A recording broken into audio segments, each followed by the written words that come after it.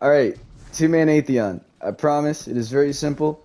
All you need is one Heat Rises Warlock.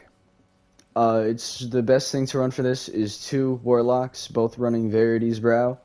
Uh, the Heat Rises Warlock will have Tractor, a Solar Sniper, the lower the RPM the better, and then trust me, a Scout, not a Bow.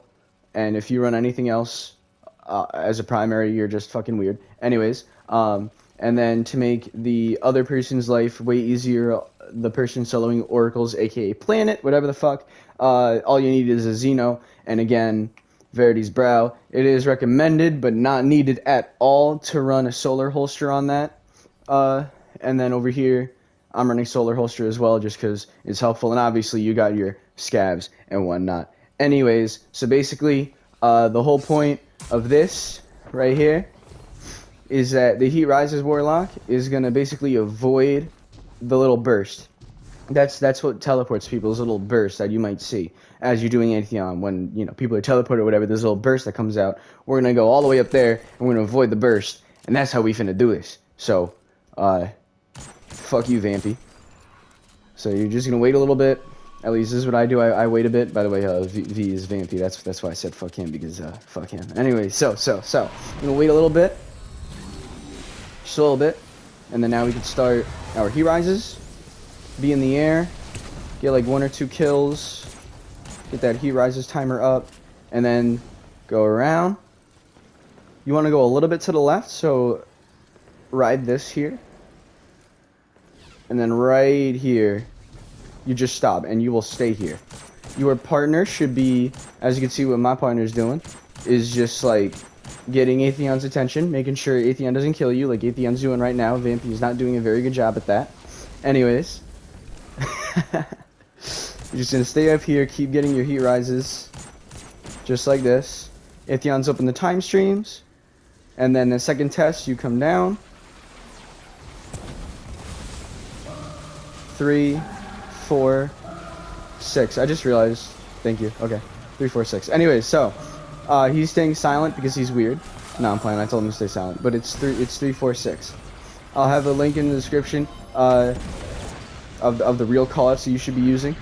I don't want to talk about me almost dying there. Five, four, one, and this is all that you do here. Five, four, one. Is you just call out the oracles. Make sure you build that. Now he's in there, just soloing. You know the the planet. Not that difficult to describe. Four, one, three. It is recommended to come up here because this is usually quote unquote safer. Four, one, three. And then now we're going to come down here because this is third wave. we're going to start getting our, uh, well, I missed my shot there. Our, uh, you know, our Verity's brow.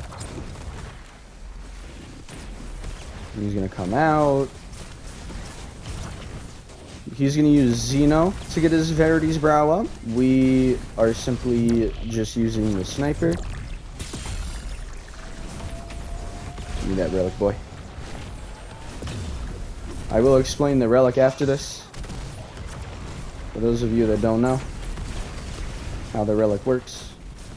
And that's a damage phase. And now we're just going to immediately come over here, pop that heat rises, and just do the same thing, except now it's way more instant. Obviously, you don't have the time, you know, because you start the encounter, you have time, because Atheon's spawning in, woo. Anyways, you come up here, and you just do the same thing. Obviously, your partner is going to be speaking. He's not going to type in chat what plane he's in uh, to make it easier. Obviously, you know, that's just that's just how it is. And as you can see, my partner, he's grabbing the attention of Atheon. Pretty simple. This is literally all you do. Um, it, it's as simple as this. Your uh, your partner, if you are the Heat Rises, your partner does not need to be a Warlock. As I just said, it's the best. All right, now we're gonna come down.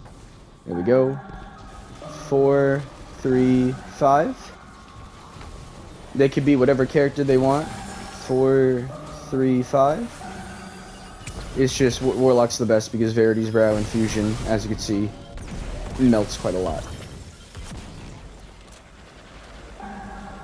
Four, five, two. Four, five, two. And you just come up here. Yeah, four, five, two. You start building it up a little bit early.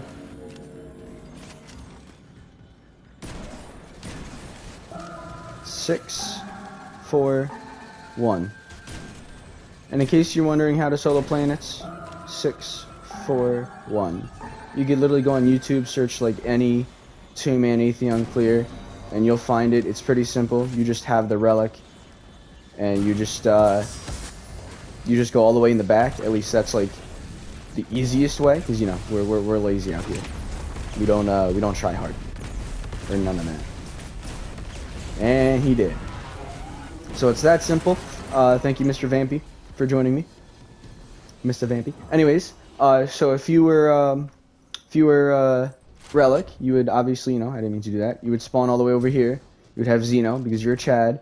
You would grab the Relic, right, right? You would run over here, come over here with the Relic. Boom, Gatekeeper, bam, bam, blah, blah, blah. Alright, everything's dead. And then, obviously, your partner's calling out. You stand right here, because you're a Chad. Uh, you could also go in the back if you're feeling really lazy. I know I said to do that. Uh, so if you're feeling lazy, you could do that. But I like to stand here. Is just what I prefer. And then one, two, three, four, five, six. It does not change when you stand here. That right there, no matter what planet you're in, is always one. That's always six, etc., etc. Again, I'll have a link in the description. That's literally all it is to two-man Atheon. You just have one person on Xeno solo the planets, which again, that that's even like a six-man strat of having somebody solo planets, and then you have somebody he Rises. Now, if you don't want to play any Warlocks at all, that that's a little fishy because then you got to do the res strat. So obviously, um, before you start the encounter, you just have whoever wants to stay outside fall down, die, and then you start the encounter. You know, just like a regular six man. Somebody solos the planets, and then at 132, because you know light fading at the bottom right hand corner. If we were still the encounter, you would see light fading. At 132, you would then res yourself, and then in case you don't one phase Atheon, because you know what, what the fuck. Anyways, you would then hop hop down again, and then you would see at the bottom left, a little bit above your super bar, it would say, you know, Atheon does this, and then the second text that shows up, there's two texts. There's the time streams, and then there's something after that. The second test text that pops up, that is when your partner would start reviving you and then they would get teleported while you stay in here and then obviously if you need to do yet another phase you just have your partner go ahead and die instead so with heat rises you know the heat rises strat you have four phases because atheon has four phases but with the dying strat in case you have no warlocks or whatever uh, you just you just have three phases which realistically you should be two phasing atheon as you should have somebody on tractor and then obviously spam the nades. For Warlocks, Verity's Brow, and then Fusion. For Titans, be lazy, Pulse Nade, Cuirass of the Falling Star. Trust me, just be lazy. And then for Hunters, you have Blade Barrage, Star Eater Scales, and then obviously Fusion Nades. And that's what you would do for each thing. Um, and, and then and that's really it. That is uh, two man Atheon in a nutshell.